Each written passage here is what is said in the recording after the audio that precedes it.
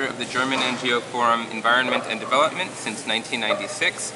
As the network coordinating international policy work for most German NGOs. He's the director, he was the director of the German Asia Foundation from 1993 to 1996 and the international secretary of the Green Party from 1987 to 1991. So thank you so much for joining us. We're honored to have you and very interested to hear um, your thoughts and experiences from the fight against TTIP in Europe. So any, are we ready to get started or anything? No, no, no Thank you. Maybe a few words about the German NGO Forum. It was formed after 92 uh, after the Rio conference on environment and development and it was supposed to coordinate international activities of NGOs in Germany on climate, biodiversity, other environmental issues and also on trade.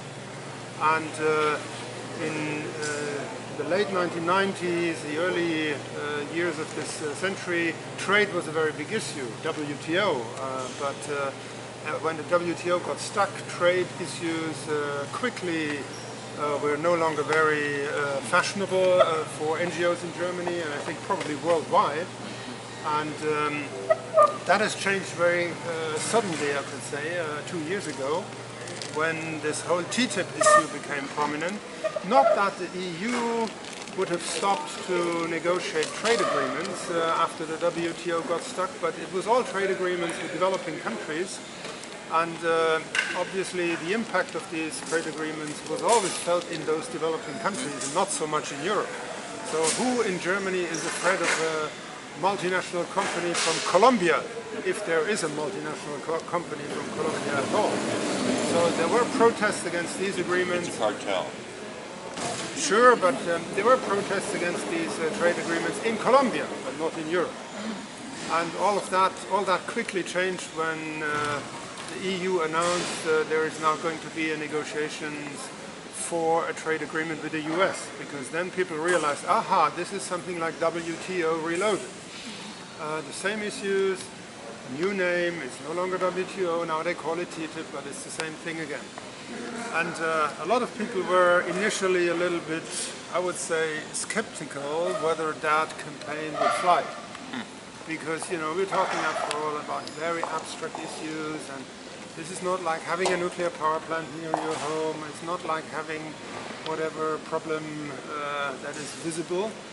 But um, about two years ago we launched that campaign. It was an instant success uh, in Germany at least. Uh, we, uh, when Obama visited Berlin in June 2013 and we moved a big Trojan horse in front of the EU Commission's uh, representation in Berlin and that Trojan horse, it was like four meters high uh, and it was, uh, we wrote TTIP on it and you open it and what came out of it was fracking driller and hormone meat and things like that, all these rules.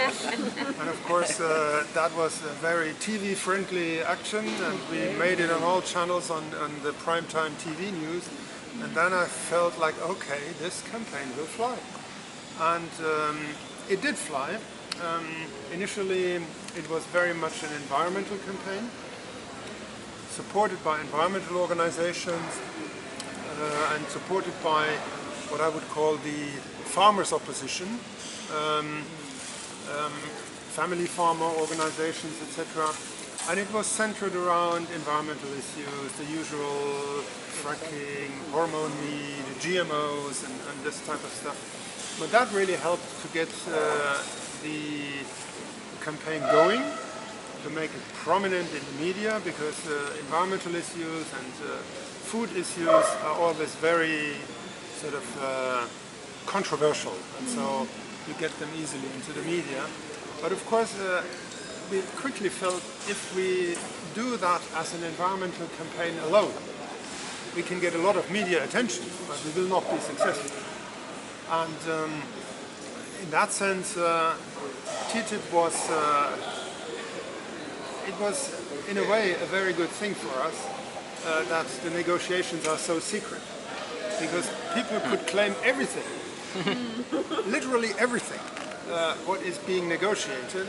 And the Commission and the German government and the governments in other European countries had a really hard time to deny because they refused to make the papers public. So you had meetings where people claimed all kinds of stuff. I remember one meeting where an old uh, pensioner uh, stood up and was very angry. If this agreement comes, our pensions will be lowered to the American level. and of course the commission guy said, no, this is of course not true. And the guy responded, do you know all the negotiation papers? And the response was, I know a lot of them, but not all of them. You know nothing! so that of course was uh, to some extent a little bit hilarious, but course people quickly realized this agreement, if it ever comes, will impact more than just the environment, more than just farmers, more than just our food. You had all these things about uh, corporate uh, uh, courts called ISDS, uh, this investment tribunals. You had people fighting for workers' rights trade unions realizing, okay, this will be a very uh, big problem for them. If uh, investors can sue against the rise in the minimum wage or if you have this unfair competition where uh, US states basically outlaw trade unions and get an unfair uh, competitive advantage uh, because of that, then you have this data protection issues and so on. Uh, so quickly the coalition, yes? Is there, is there general understanding among the population that these things are true? Absolutely. So it's different from here. Probably. We're still trying to tell. Yeah. I mean, what percent of Germans know Why don't- about Why don't we issue? open it up to discussion after Yeah. Mr. Yeah, you Yeah. can speak I'll, I'll first. continue and um, so um, the campaign quickly spread beyond the environmental base. It became a campaign where you had uh, a large part of the population, a large part of also organized lobby interests in Berlin and other capitals, in Brussels, uh, getting the fact this is something they have to do something about. Even organizations representing small and medium-sized enterprises uh, started to oppose it. Um, the German Minister of Environment um, uh, then realized something's going wrong with here with this uh, issue and he invited all the critical people but also a lot of business uh, representatives etc to an advisory council on TTIP for him. So I'm a member of the German Minister of uh, Economic Affairs TTIP Advisory Council together with 40 other people. And uh, he, of course, uh, had in mind that this advisory council will be wooed, will feel, ah, we are so important, and quickly turn over to advocate for a reformed TTIP, but stop being completely against it.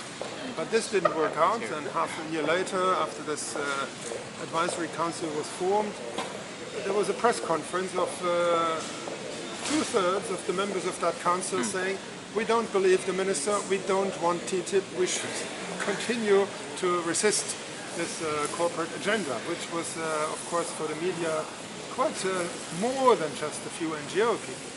So you had at the moment a, a campaign where people understand this is a bad agreement for different reasons. Not everybody who is uh, fighting for cultural diversity has problems with GMO food. And not everybody who has problems with GMO food is fighting for workers' rights. But you don't have to agree on everything, but uh, this agreement will impact so many people. So that's why the campaign has such a broad membership. This is to some extent also the case in Austria and in Luxembourg and in Belgium, but it's different in a number of other countries. So Europe is not a homogeneous society, it's a collection of different countries with different civil societies. Like in Britain, uh, the opposition against TTIP is also very strong, but for different reasons. They are worried about their national health service, and uh, the, the National Health Service is still a completely public uh, entity. Even Maggie Thatcher didn't dare touch the National Health Service. She privatized everything except the NHS. And now people are worried this could be another attempt to privatize the NHS. So in Britain, this is the big issue. And then you have other countries where food is the only issue, like uh, France. Uh, Okay, it's fine. And then you have other countries where they talk about other things. And um, of course, also the uh, the other side, I mean, the, the pro-TTIP lobby operates with different arguments in every country. I hmm. was in Lithuania two weeks ago, and for the Lithuanians, uh, the public is told this is a way to fight Mr. Putin. And then you have, if you ask the question, then like, but why should Putin be impressed if we all eat if we all eat GMO food? Mm. I don't think he's going to be very much impressed. Maybe he starts laughing. Mm. so, I mean, the campaign in Europe is uh, sort of spreading to all countries. Um, we have collected in a European uh, citizens initiative now two and a half million signatures.